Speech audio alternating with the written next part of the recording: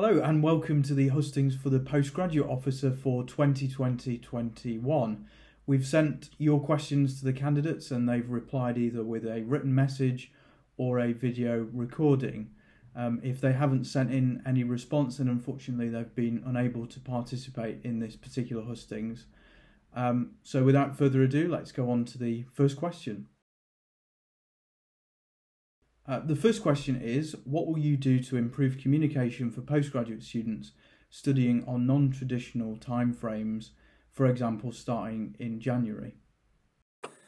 This is a really good question, and so many students fall into this category. I believe it first starts with making sure our communication channels and information is always up to date and easy to find for our students.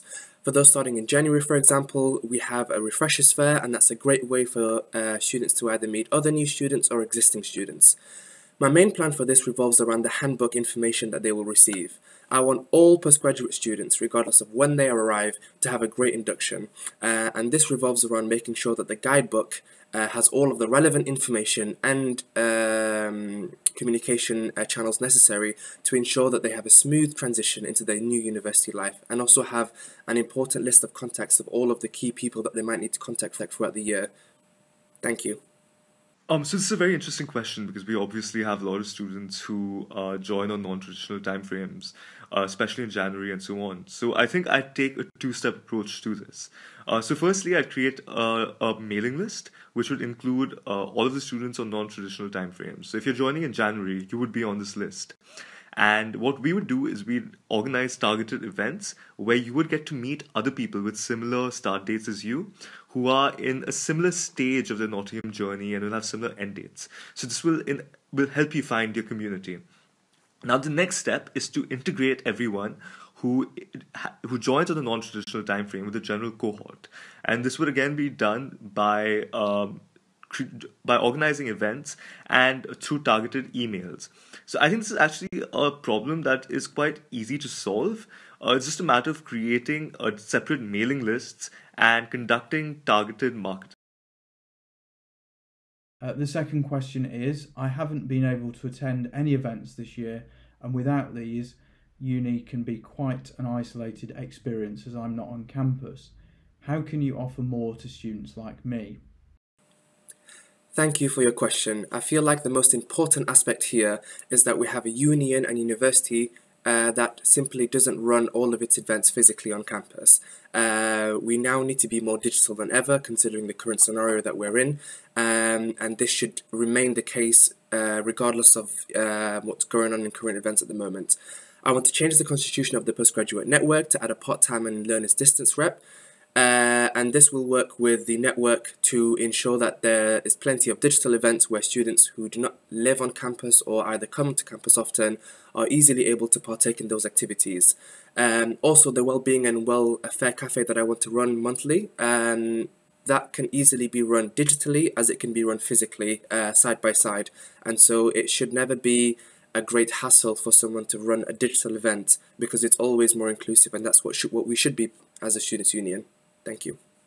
So this is something that I've experienced myself. Uh, being a postgraduate can be a little socially isolating since there aren't a lot of a lot of opportunities to meet people from outside your course.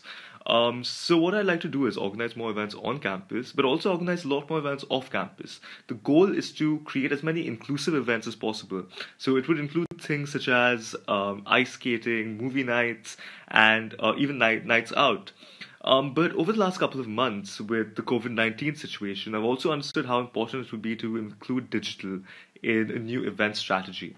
So I'd also look into hosting more digital events, such as virtual pub quizzes um, or a chat roulette feature where students can be matched up with other students from different courses and interact with them or even virtual nights out that uh, a lot of clubs in Nottingham, like Ocean and Crisis, have been doing.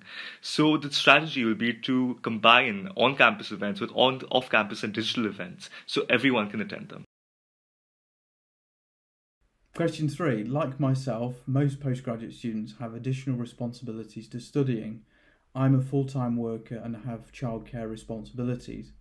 How will you ensure their needs are continually met uh, for support throughout this, and how will you communicate their needs to the university? This is an excellent question. Many postgraduate members fall into this uh, different category of networks. For example, as a postgraduate student, you'll have a lot of international, so they'll fall into the international network or the mature students network as well.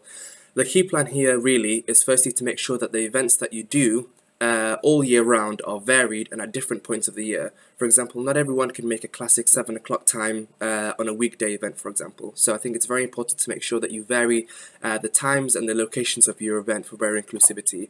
But also, as I said in my earlier answer, it's also important to keep digital events as well, because not everyone will have access to be able to come to those physical locations. Communication plays a vital role in this. Through the welfare and well-being sessions or my bi-weekly sessions where I will spend a bit of time working in different campuses, students will always have the ability to speak to me regarding any issues that they may have. They also are more than welcome to come to my office or rearrange an email with me if they don't feel uh, comfortable or unable to come onto the campus. As a Students' Union leader, my biggest priority is supporting our students and our members and that is all of you. So any issues that is brought forward to me, um, it is my job to be able to discuss that with both the university and the union in order to make sure that we have a suitable way of tackling this issue. Thank you so much. So I think we need to look at this from two perspectives. Um, first, we need to make sure your academic needs are met. Um, for that, I'm creating a tool that will provide students with academic coursework and exam support throughout the year. Next, uh, we have a system of course representatives who I'll be working with closely to make sure that individual course related needs are met. Third, to increase transparency, I'm creating a suggestion box feature. So anytime you face any problem with your course or any any problems in general, you can send in a suggestion and I'll be reading each one of them and trying to make sure that your needs are met. Second, we need to make sure that we fulfill your social needs. So um, we'll also be creating a lot of digital events, so which you can fit in within your uh, calendar and within your schedule, and then you can still have the chance to meet and interact with different postgraduates, giving you a more fulfilling experience. The final question is as a part time master's student, resources I'm given are often lesser quality to those that I receive as a full time undergrad. How would you ensure moving forward teaching materials and sessions I'm provided with are the same standard as my undergraduate counterparts? Thank you for your question. Students doing a master's degree often pay a higher proportion of tuition fees than undergraduate students, so the quality of your teaching should not be less than undergraduate counterparts, but in certain areas, unfortunately, this is the case. I believe the first way to tackle this problem is through the education network. We have course reps which feed into faculty reps, whom the education and the postgraduate officer meet with regularly to discuss the latest, the latest issues brought to them and what they can do about this to further improve or lobby the university for change in their teaching standards and quality. I believe this is where my program, which is called the Development of Postgraduate Initiatives, will come in. It will have members from the Education Network representatives and others uh, in different departments uh, and networks across the university and the union and the graduate school um, to further hold the university uh, account in its teaching standards and in, in other aspects too. And essentially, the purpose of this is to make sure that not just the teaching quality, but all forms of uh, services that you receive from the university are sufficient for not just the uh, level of, of income that you're paying as a master's student, but also for the basic requirement of what you should be expected to receive from your quality and your teaching standards. Thank you so much. So this is something I've actually heard about from a lot of my fellow postgraduates. But before I can talk about the solution, I think it's very important to understand the problem.